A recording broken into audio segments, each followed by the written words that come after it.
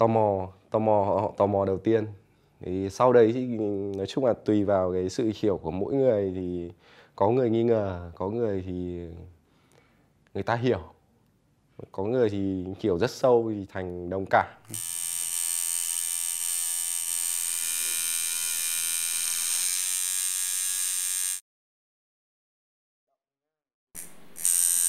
Cái quan điểm là khi nhìn thấy một người có hình xăm ở, trên người thì thường ấy nghĩ đến dân xã hội rồi là hộp báo đầu gấu. Cái cái đó theo tôi là là không đúng ở thời điểm hiện tại. Đấy, nhưng bởi vì ở đâu cũng có người tốt người xấu chứ không không nhất thiết phải là bạn mặc cái áo trên người hay là bạn xăm cái hình trên người để để, để nói ra, ra rằng đấy là bạn tốt hay bạn xấu hay mà người khác có quyền đánh giá như vậy. Với à, body art thì uh, quan điểm của đại đại đa số người bình bình thường nó là một hình thức chơi trội thì với với tôi nó đúng nhưng mà nó cũng không đúng. Bởi vì thực tế giống như bạn trang điểm đó là bạn muốn mình nổi bật hơn bạn muốn mình trông hoàn hảo hơn trông ưa nhìn hơn với mình chẳng hạn. Thì với body art, uh, ờ, body art cũng như vậy. Some freehand là sáng tác cũng giống như kiểu là mình mình sáng tác một bức tranh.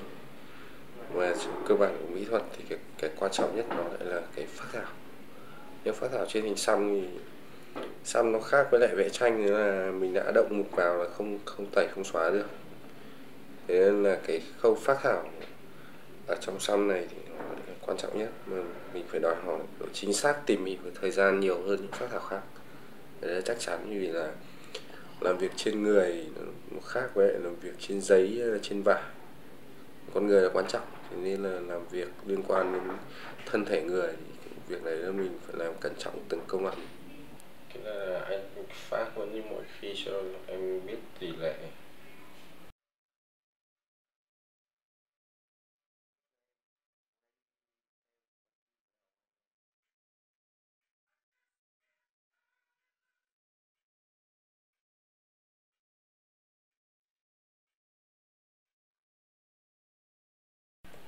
Anh có chỉnh lên chút nhé bắp chân cho nhỏ đi. Ok. Chỉnh một chút. là đằng sau lưng nó đừng kiểu nhiều cơ như thế quá. Em thấy okay. nó hơi bị năm năm chút chỉnh chân một chút. Ok giày sẽ thay giày đỏ. Hơi gì đây đây đúng không? Tóc tóc mẹ này đi. Nhưng mà anh phải tưởng tượng là cái đằng sau của cái tóc nó như thế nào ấy. Okay. tại vì là đây là nó quay mặt ở đằng sau. Ok. Được thì anh sẽ nhìn cái bên mái này của nó cái con bé kia là có để nó đeo kính hay không để đeo kính?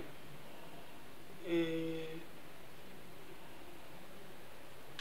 đeo kính. Vẫn vẫn đeo kính. Ok bây giờ xoay ra xoay ra xem có nhìn thấy cái mặt không? Có nhìn thấy tí nào không? Đây. Ok em nhìn thấy ừ. tí nào mặt không? Ừ. Ừ. Ừ, đúng rồi. Thôi để như thế đi vẫn có đeo kính đúng không Chất Giọng nhỏ nhưng mắt tròn như vậy Không phải mắt tròn mà là cộng à, Theo quan điểm của tôi thì ờ, cũng như việc bạn ờ, vẽ một bức tranh ở trên giấy hay là vẽ một bức tranh ở trên toan và dù là bạn vẽ bằng chì, thì than hay là sơn dầu tạo ra những tác phẩm là nghệ thuật. Những tác phẩm nghệ thuật tạo hình đó thì cũng giống như tattoo và body art. Chỉ khác là bạn vẽ không phải bạn vẽ tattoo trên giấy hay bạn làm body art trên giấy mà bản thân là chỉ khác biệt chất liệu ở đây đó là giấy, vải và da người. Còn lại là về cơ bản tất cả mọi thứ đều giống nhau. Tattoo và body art là một bộ môn nghệ thuật đáng tôn trọng. Thì cái hình đấy là, nó là dọc sống lưng là dọc xương rồi.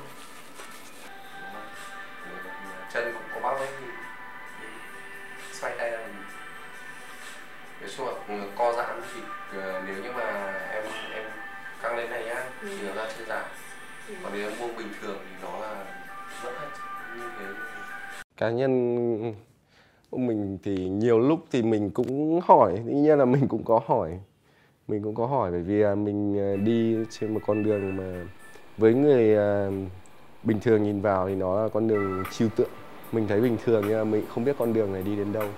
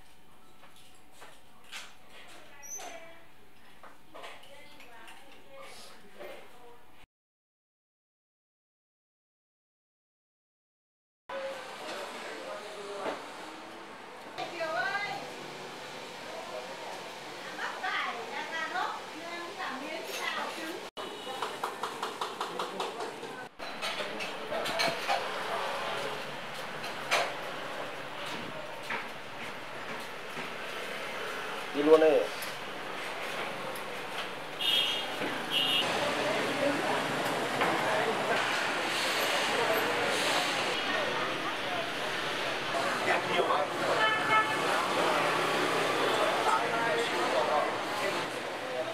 Vâng ạ. Vâng ạ. Như này à?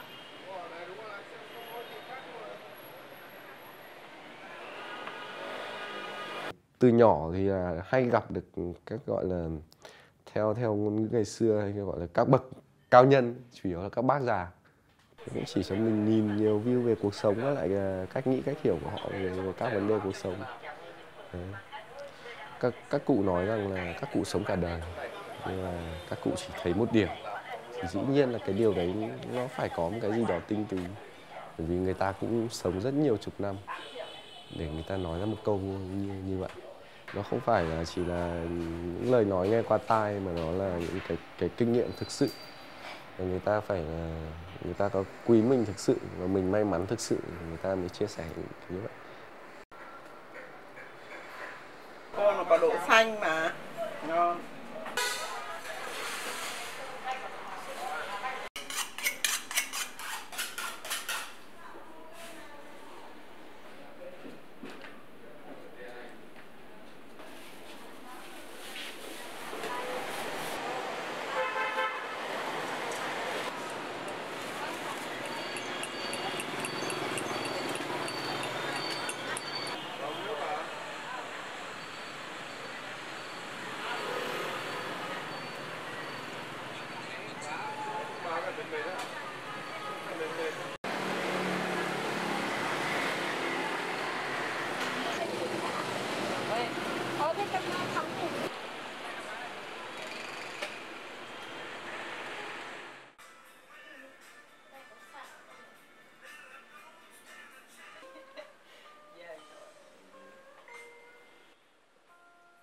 Trong cái thời gian ừ, đi nước ngoài ờ, thường chủ yếu đấy là đi nghiên- cứu nhìn học hỏi với lại chiến đấu. Thì nói chung là cũng được các bạn bè đánh giá với lại là ừ, cũng có những thứ dị biệt để đủ để cho người ta muốn ăn trộm những thứ mình làm. Đấy, chắc chắn. Và lại là có một số những cái ờ, dấu mốc để mình không nghĩ rằng mình thành công với người khác. Mình thành công với mình bởi vì à, những cái mốc đấy là những cái mốc mình đặt ra để mình chiến thắng mình. Mình đạt khi mà mình đạt được đến những cái mốc như vậy và, và có những mốc thì nó cũng thực sự là lớn ở cái lứa tuổi trẻ.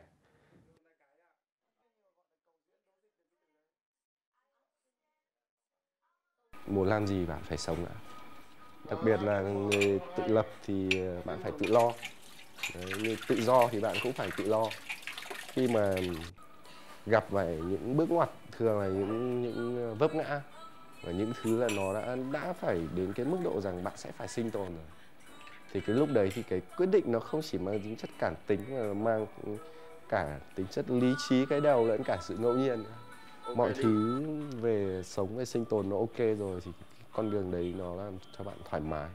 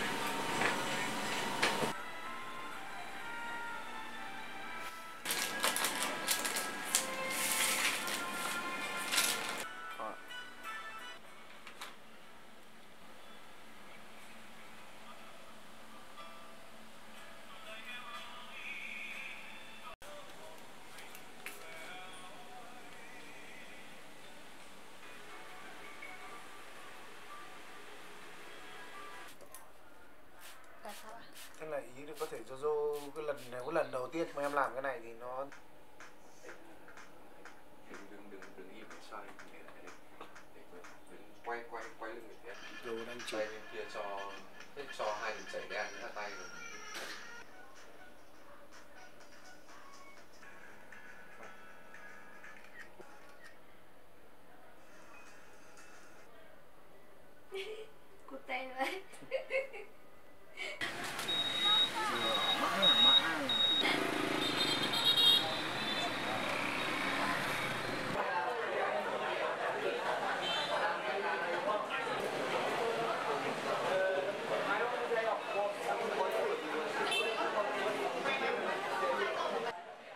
Nghĩa thứ hai của đến một cái đinh đấy là khi mà bạn ờ, ok bạn được mọi người đánh giá thì bạn cũng có tài chẳng hạn. Và bạn ờ, cống hiến rồi bạn sáng tạo đến một cái mức độ mà bạn cạn coi như là nói trong ngôn ngữ của mình anh em nghệ sĩ đấy là bạn đi. Đấy, nghĩa đầu óc bạn không thể sáng tạo được nữa. Mà bạn có tài bạn cũng đã thành công một giai đoạn cái đấy là coi như bạn đã đến một cái đinh. Đấy. Thế là thường người ta đánh giá đến cái đinh là gì nó giống kiểu ngọn đèn sắp tắt. Là đến cái đinh đấy rồi là bạn đi. Thế nhưng mà mình cũng gặp nhiều người như vậy nhưng mà chủ yếu là ở, ở nước ngoài. Người ở nước ngoài. Thì người ta thường là mất sớm. Và là nghệ sĩ rất tài năng là mất sớm trong bạn bè của mình cũng có. Đấy. Nhưng mà mình không muốn đi con đường đấy bởi vì là cái cái ờ, con đường đấy thì người ta bảo là đi một mình thì đi rất nhanh. Rồi đấy mình nhưng mà muốn đi xa thì phải đi cùng anh em cùng bạn bè cùng cùng tri kỷ cùng gia đình. Thế là mình, ờ, mình chọn cái hướng thứ hai. Bởi vì ờ, khi bạn muốn làm cái gì đấy dài thì bạn có thể giãn ra bạn có thể thư giãn hơn một chút yêu thương nó và chiều nó hơn một chút. Chứ không phải là, là cứ quyết tâm và dồn toàn bộ lực vào nó để mà đi cũng đi cho nhanh. Thì bạn chỉ bùng cái này thì thế là xong là bạn đi. Đấy, còn mình thì mình muốn là cống hiến cũng gọi là cống hiến thêm màu màu sắc cho cuộc sống. Đấy, thấy những cái hay cái tốt thì bảo lại cho những người trẻ hơn chẳng hạn. Thì làm việc đấy thì nó cũng là cái việc tốt mà bạn bảo càng nhiều người để khiến họ tốt lên thì đấy cũng là càng tốt thì cứ ngày, từng ngày thôi, mỗi ngày làm việc ý nghĩa nhỏ nhỏ chứ không cần phải ngày nào cũng làm việc to.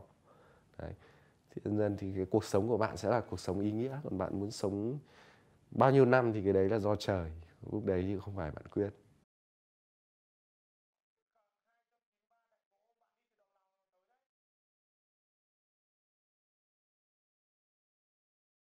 Giữa, nếu mà ở trong cái trường hợp đứng giữa ngã ba đường thì nó giống như việc là bạn đang đứng giữa cùng lúc ba cô gái.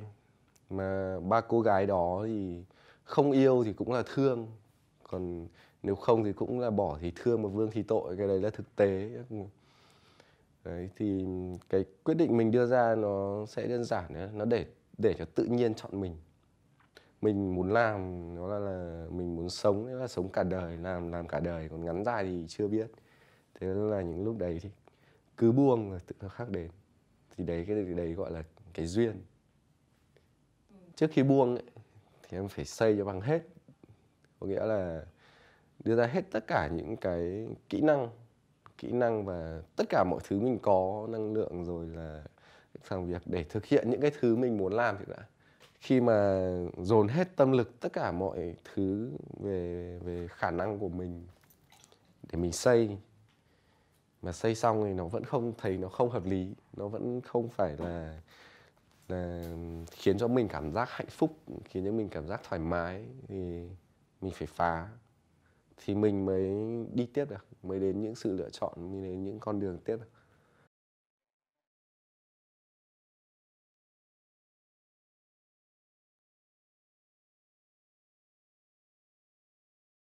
Ờ, nhận được tiêu cực đấy mà khiến mình tụt mút thì nó lại là liên quan đến ờ, cái nhìn của gia đình. Chứ nó lại không không liên quan đến đến ờ, người ngoài. Nhờ cái, những cái cú tụt mút đấy thì mình mới biết được là cái quyết tâm của mình đến đâu. Đấy. để mà mình đi chứ mình mình không vì tụt mút mà mình cũng mút luôn theo thì sẽ không đi được đến như bây giờ và cũng sẽ không đi tiếp được thế tại vì à, từ cái lúc mà mình à, mình sinh ra ấy, là mẹ để rơi là đáng lý tên là Bùi Hải Ngọc chứ không phải là tên là Bùi à, Phong Vũ. Và bởi vì à, có người cái ngày sinh đấy thì lại là chính là một ngày bão rất to. Bão, bão rất to và, và mẹ mình là đẻ rơi mình. Nên là mẹ mình nói là ừ, tao đẻ mày là không, tao không không thấy đau. Hai đứa đấy là mày tự chui ra chứ tao không đẻ ông ông ông rời ờ, kéo mẹ ra chứ không phải kéo mẹ ra, thế là đặt tên cho thời tiết ngày hôm đấy. Cũng như gió.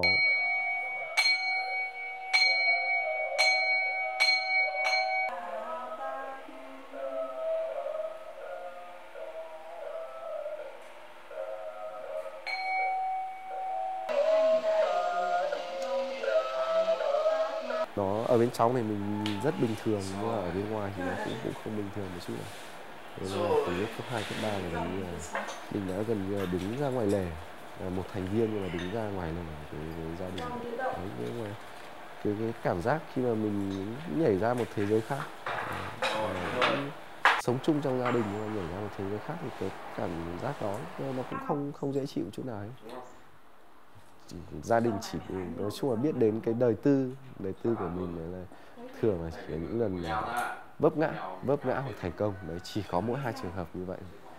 Thực ra là là tất cả mọi khoảnh khắc thì mình cũng đều à, muốn cái điều đó. Bởi vì à, thế là không không ai muốn sống cuộc sống cô đơn cả. Năm à, 2012 mới biết là Vũ theo đuổi cái việc xăm nghệ thuật. Cũng thực sự thì cũng không sốc nhiều lắm nhưng mà lo lo lắng nhiều hơn. Đấy, lo là Vũ đi lạc đường trong cái việc xăm nói chung là việc nhà của mình có những đôi khi là đó Tết là không không về Tết cũng không ở Việt Nam là ma chay cưới xin rồi là những ngày nghỉ lễ liếc các thứ là gần như là nhiều nhiều năm nay đã không không còn liên quan đến mình nữa. Thì có những mất mát liên quan đến người thân đấy, thì mình không không được nhìn họ phút cuối đấy. đấy mình cũng không chịu tang này công việc bây giờ đã mỗi người mỗi khác và cuộc sống mỗi người mỗi khác. Cái tư tưởng và tình cảm gia đình thì nhiên lúc nào nó cũng vẫn là là như vậy. Đấy, mình vẫn là con của mẹ, mình cũng vẫn là em của anh. Ngoan hư, giỏi hay là thành công hay thất bại thì cũng vẫn là là như vậy. Đấy. thế là cái tư tưởng gia đình thì lúc nào cũng vẫn còn, nhưng mà có những thứ giống như bạn nói lúc trước chúng ta phải đánh đổi, chúng ta phải hy sinh. Đấy nhưng không, mình không không hy hy sinh gia đình, cái đấy là chắc chắn. Đấy là không không không bao giờ là là là hy sinh gia đình. Mà kể cả có thành công đi chăng nữa thì mình cũng muốn rằng là ra, cái người đánh giá cái thành công của mình đó là gia đình.